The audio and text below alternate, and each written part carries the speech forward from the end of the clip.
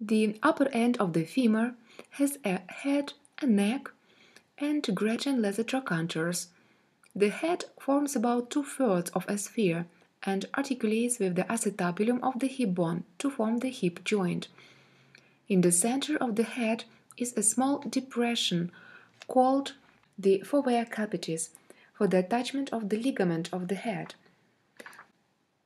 The neck, which connects the head to the shaft, passes downward, backward and laterally and makes an angle of about 125 degrees with the long axis of the shaft. The sides of this angle can be altered by disease. The greater and lesser trochanters are large eminences situated at the junction of the neck and the shaft. Connecting the two trochanters are the intertrochanteric line anteriorly, where the iliofemoral ligament is attached, and a prominent intertrochanteric crest posteriorly, on which is the quadrate tubercle. The shaft of the femur is smooth and rounded on its anterior surface, but posteriorly it has a ridge called the linea aspera, to which are attached muscles and intermuscular septa. The margins of the linea aspera diverge above and below. The medial margin continues below as the medial supracondylar ridge to the adductor tubercle on the medial condyle. The lateral margin becomes continuous below with the lateral supracondylar ridge. On the posterior surface of the shaft below the greater trochanter is the gluteal tuberosity for the attachment of the gluteus maximus muscle.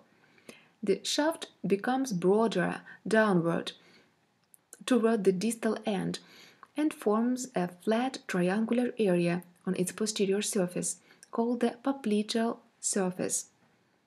The lower end of the femur has lateral and medial condyles, separated posteriorly by the intercondylar notch.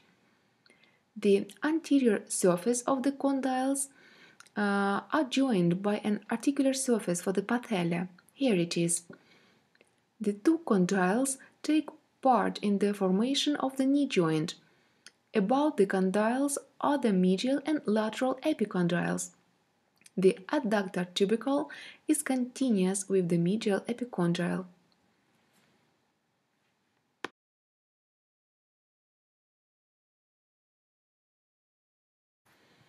Now let's review the main structures again.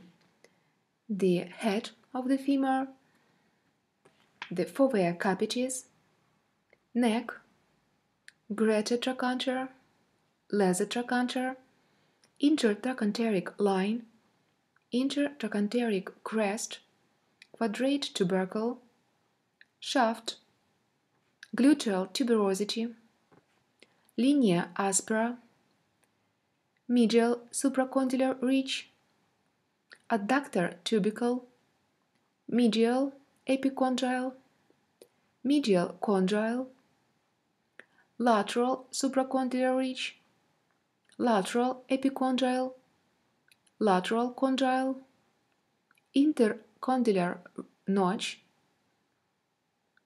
popliteal surface, articular surface for patella.